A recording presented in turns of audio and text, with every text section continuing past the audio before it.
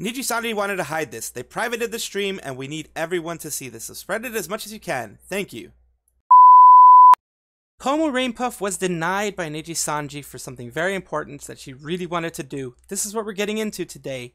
Hello, this is the Mad Salvi, coming to you with some VTuber news right now. Kind of was thinking of whether to do it or not, but I have too much to say about this, so let's get started. First, we're gonna watch what Pomu actually had to say. Mm, how do I put it? There was a really big opportunity that was that was given to me, or rather, I don't know, asked of me, and offered to me, offered to me, offered to me, and uh, and I get why it wasn't accepted, but it's really frustrating that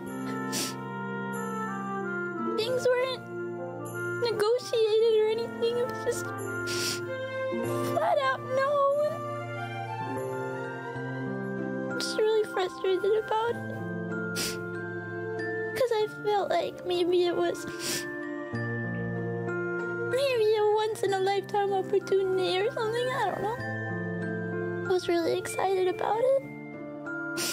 But I felt like maybe things were turning around or something. I don't know.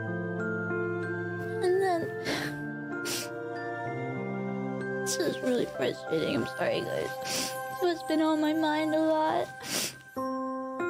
I've just been thinking about it.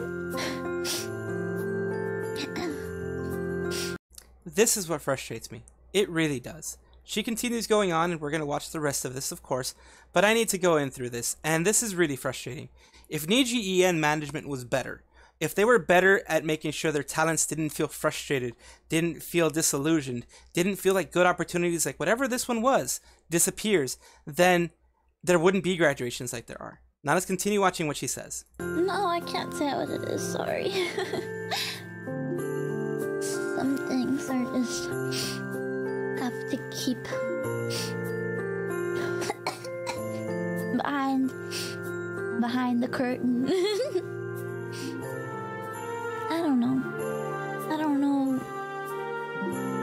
what to really think.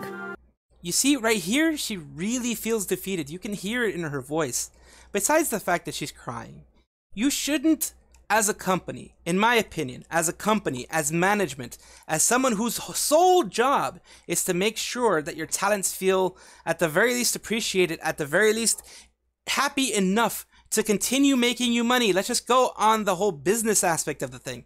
You have to make sure the people, the talent under you, still feel appreciated enough, still feel happy enough that they're going to happily keep doing the content creation that is your livelihood. This is what makes you money. Why are you making them feel unappreciated or like you you as a management let this opportunity go to waste, let an opportunity get away when they felt they were you know qualified for it. And obviously obviously they didn't give her a good explanation.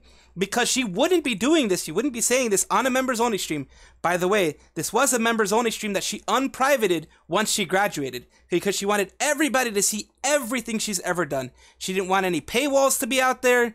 She was doing this for her pomodachi. She was doing this for her fans. For everyone who enjoys her content. And anyone who's new to be like here's my whole catalog watch it she was that nice, but still, you made her feel this disillusioned that it could very well have been one of the deciding factors of am I going to renew my contract in January, which is around the time that contracts are renewed in Japan? Am I going to renew my contract or am I just going to decide, you know what? I'm going to just cut my losses and go and do something else. Whatever else she does, I know she's going to be super successful at. But let's finish up the, the, the video before we're done. right for the virtual hug. I mean, maybe it wasn't gonna be good. I don't know, but there's always like what ifs, you know? Like if I don't know if I don't try, which is when it's frustrating because I'm typically a person that likes to at least try. As everyone does. Everyone in a position does. Mm-hmm. Opportunities will come. I don't think so. I think this is at the point, just that is like prophetic words right there. Those are I might I'm probably read I can probably guarantee you I'm reading too much into this and correct me if I'm wrong down below if you think I'm reading way too far into this and it had nothing to do with her future graduation. But even if it was 2 3 months before that this came out, the fact is she already had it in her brain these guys aren't going to do what I need to grow. They aren't looking out for me. Maybe those doubts were starting to be planted in their brain.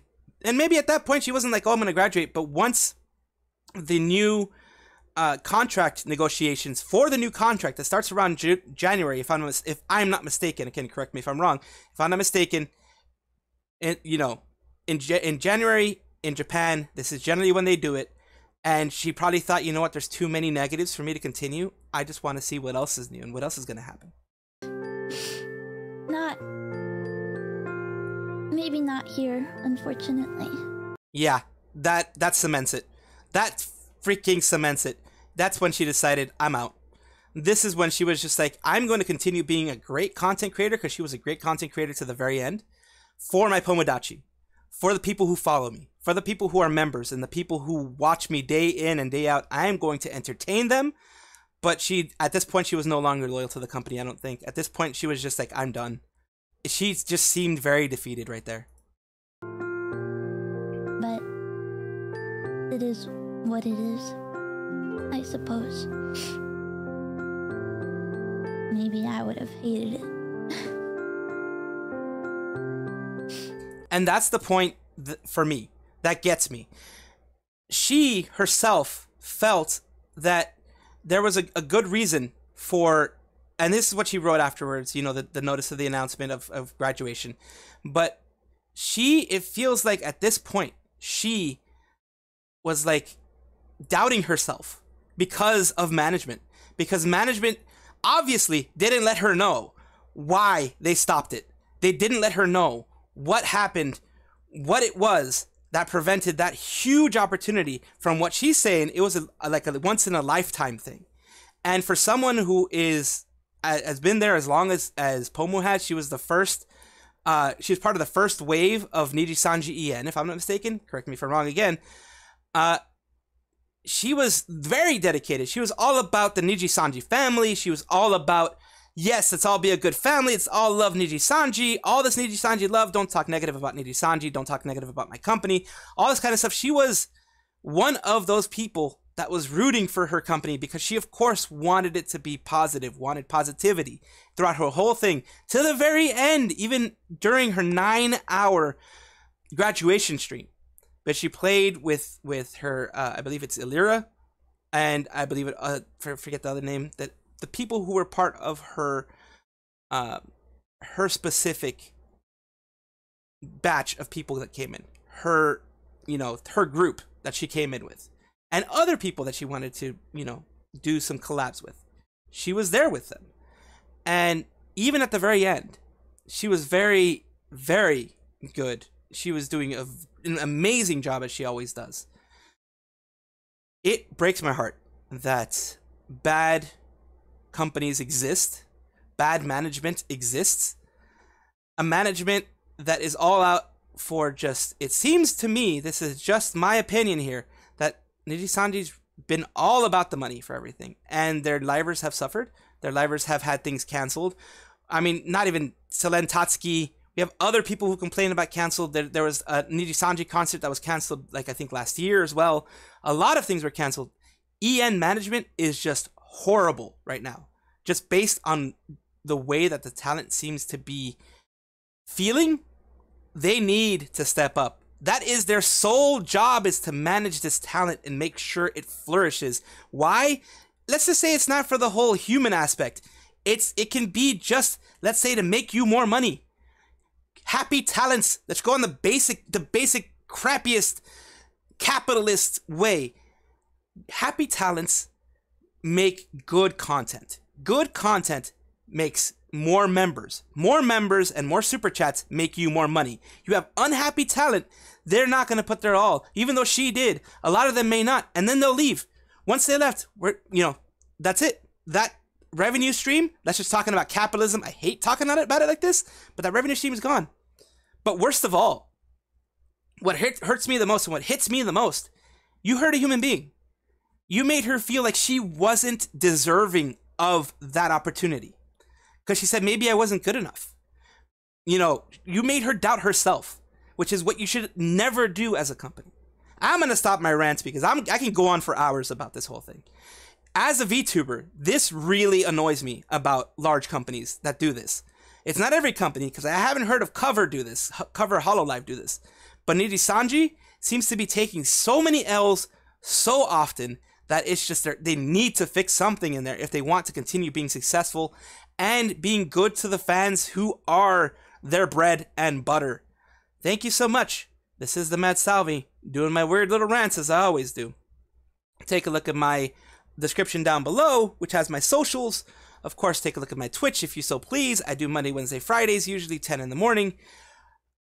And take a look at any videos that pop up on your screen, which is what YouTube recommends for you. I sure do hope that you enjoy watching those as well. I appreciate you so much. You have a wonderful day, evening, night, afternoon, whichever one it is for you. I appreciate you. Have a wonderful day. Bye bye.